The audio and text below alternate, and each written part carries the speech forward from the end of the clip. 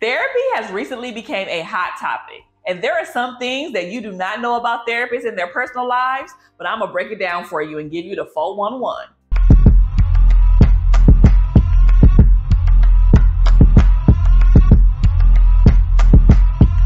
Everybody. Welcome back to another episode of the Kiaundra Jackson Show. I am your host, Kiaundra Jackson, licensed marriage and family therapist here. Now, look, I'm about to tell y'all a little bit of the therapist tea because some of y'all don't put therapists on a pedestal and we just as human as you are. For some reason, people think that therapists are superhuman. Like we have these superpowers that we're perfect, that our lives are perfect, that everything is just peachy keen. And that's the furthest thing from the truth. Most therapists got into this work, myself included, because of our own trauma, because of our own issues, because of our own family stuff.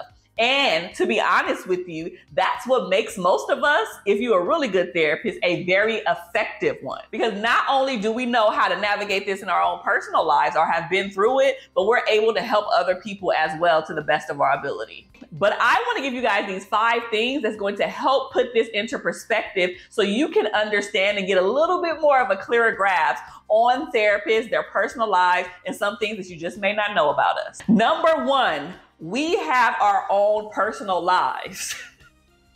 I don't know why y'all don't get that. We are a whole human being. We have spouses and children, other businesses. Some of us continue to go to school. We have friends and hobbies. We have a life outside of seeing you for therapy, boo. And it's important for y'all to know that we are not just sitting around 24 7, 365 days a year, seeing clients, doing paperwork. You're like, no, listen, we want to go home at the end of our therapy sessions, just like you want to go home. We got other things. We got to cook, we got to clean, we got to do all of the normal things that everyone else does. And so you have to remember that being a therapist it's just like anybody else's job. And it depends on if they are in private practice, meaning they work for themselves. I can guarantee they got a lot more on their plate versus someone who actually just works at a community center or an agency or a hospital, prison, or things of that nature. Because being an entrepreneur and being a therapist is a completely different ballgame. Trust me on that. So just remember we have our own personal lives. So if you are reaching out past office hours, and it ain't an emergency, baby, that phone call, that email, that whatever is going to have to wait until the next business day because it's important for us to set boundaries and have some type of harmony. Because you know, I don't use the word balance over here, some type of harmony in our personal lives and our professional lives. So remember, we got lives too, and we trying to live it to the fullest, just like you are. Number two, therapists may also have their own mental health issues. Now you're probably like, wait, wait, wait, wait, wait, wait, wait. How in the heck? Yes, honey, we have our own mental health issues. We have our own relationship issues, our own marriage issues. Some people experience depression. Some ther- like I literally have therapist friends who are also clinically depressed. I have therapist friends who have a diagnosis of a personality disorder. I have friends who have a diagnosis of being borderline. I know this is a thing. And so just because someone has a mental health issue or mental health diagnoses, that does not mean that they cannot help you. Remember, that is only one aspect of who they are and their life. And also remember that life gives you lemons and lemonades. I have been in seasons of my life, truthfully, where I have been going through while I have been working clients. For one example, I vividly remember when my grandmother passed away, who was the matriarch of my mother's side of the family, and it was huge. We were all so very close to her. But I remember grieving and going through that process, which is a lot, while also helping my clients who experience death in their lives too. That was the hardest thing that I ever, ever, ever, ever had to do. Now, while that wasn't a mental illness, but it just shows you that we have our own personal challenges, our own mental health challenges, while we're still trying to help you. So, not to say that we're going to tell you all of our business and everything, because you know that there is some type of ethical you know, guidelines that we have to follow here. But I just want to let you guys know that oftentimes your therapist may be going through something that you don't even know about. And you need to give them a little grace just as much as we give y'all grace. Number three is that oftentimes, especially if your therapist is an entrepreneur, they have their own private practice, or even have other businesses outside of doing therapy, because that's a thing too, y'all. we often struggle with work life balance, especially entrepreneurs. We know, especially if they're in the grinding phase, if they're in a startup, if they're just now getting their things off of the ground, it does take a lot of time.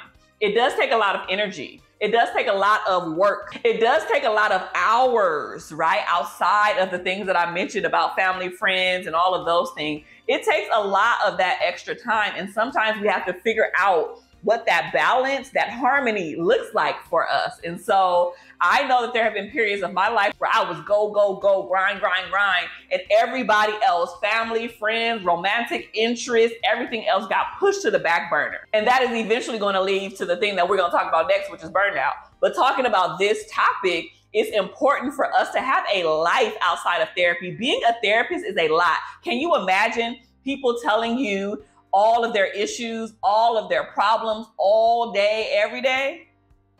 Woohoo! it is a lot, right? And you have to be built for this. I don't think people just wake up being like, I should be a therapist one day. Let's do it. I think it's a calling. I think it's something that God puts on the inside of you. And there's it takes a certain type of person to be able to manage this because I know other people who would not be able to even handle 1% of the things that people tell me. Can you imagine just how annoyed you get when your family and friends call you about drama and you're like, oh, I'm so tired of this. I don't know what to tell this person. Can you imagine eight people a day, five people a day, however many clients therapists see these days? Can you imagine doing that? Woo, over and over? It's a lot. It's a lot. So work life balance is a thing. And hopefully the therapist can get to a place where they understand that they can work hard, but they can play just as hard. Number four is burnout. Like I mentioned before, because there may not be a work life balance harmony situation, as I like to call it, some people get burned out. They get to a place where they're just like fed up. They don't want to do it anymore. They're tired. They're exhausted. Or they continue to stay in the role and be a therapist, but not be as effective because they just don't care as much anymore. And it's not because of the client, it's because they haven't created the space and the time and the energy and the harmony in their own life to be able to equip themselves to manage all of the things in multiple hats. So burnout is a real thing. And there's so many therapists who choose to leave the therapy field altogether. Like therapy ain't for me. I need to go and do something else. Bye. Or who choose to no longer see clients. I am one of those therapists who chose, well, kind of a little bit chose because God told me to stop seeing clients. But that's another conversation for a whole nother day for people who understand how God works in your life. To date, as of the recording of this video, it's been three years since I've seen a client in therapy. Now, I am a therapist. I have a active license and I continue to give you guys content, but I do not see clients one-on-one in therapy anymore because I understand that I have a global message. I understand that I can help people one-on-one and I want to encourage other people to do that. Other therapists who know that that's your lane, do that. But there's some of us who have been called to a greater space, who have been called to impact more people, and it's going from a one to one model to a one to many model. I have been called to a one to many model. So you'll see me doing television, speaking engagement. I have multiple books. All of these things, right, is because I'm reaching more people with my message, with my words, and essentially doing the same thing that I would be doing in one-on-one therapy sessions, but doing it to a wider audience. And number five, the last thing that I think you guys should know about therapists and about their personal lives and some stuff that you didn't even know is that therapists will miss from time to time. What I mean by that is this therapists are not perfect. that means we don't always have the answers. We don't always know what to tell you. We don't always have examples to give. We don't always have suggestions. We don't always know. Sometimes we will get it wrong. Please remember that that is okay. That is normal. If a client misses on interpreting something that you said, or if there was a miscommunication or something of that nature, it's okay. We're going to figure out what the solution is. We're going to rectify the situation, but please give us grace to know that we're not perfect either. And also, some therapists probably need to remember that too. Like, it's okay for you not to get things right 100% of the time and to know that you're going to be wrong. But trying to figure it out is a part of the process. I can't count how many times I have literally told a client, I honestly just don't know. Or you know what? Let me check into that and get back to you. So by our next session, I should have an answer for you. Or sometimes things don't even need to be said, but all clients might need is my presence. Sometimes clients just may need my silence and they put the pieces together on their own without me having to interject and giving solutions. So there's so many different therapeutic techniques and ways that people can get to their end result. But just remember that therapists will miss from time to time, and that's okay too. So, because we've talked a lot about what therapists do and don't do, it's a wrap. Now, look, I want to leave you guys with this final nugget to understand that Boundaries are a part of this conversation. Self care is a part of this conversation, and all of the things. You have to remember that therapists are just someone who has a job, just like you got a job. It's just that our job looks a little bit differently. And I want you guys to take this nugget with you because this is one thing that I was talking to my mentee about the other day. She asked me, How does it feel when you don't have firsthand experience on something that your clients think you should have firsthand experience on. And so I want to remind you guys too, and I know people are going to take this a different way, but I have to share it with you. Just because your therapist is a certain thing, that doesn't mean they're going to be effective at it. Just because your therapist is not or does not have a certain thing doesn't mean they're not going to be effective at it. For example, relationship status. I get people all the time not so much now because people have seen my work. They know I can deliver. The numbers don't lie. And if you still don't want to rock with me because I'm not married currently, then that's on you. You can find another therapist that's a good fit for you. However, I remember in the early phases of my career, people would be like, I'm not listening to her. She's not even married. So, my relationship status has absolutely, positively nothing to do with my effectiveness.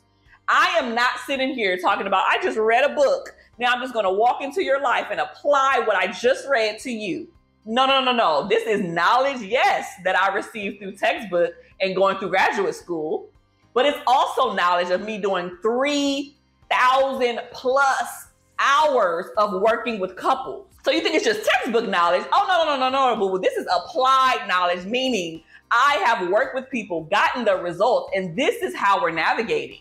So people think, well, why don't you just apply the same thing to your personal life? It's not always that easy. There are other factors to it, right? And I even give the example of you would never ever require a doctor, your medical doctor, to have the same exact issue you have in order to treat you.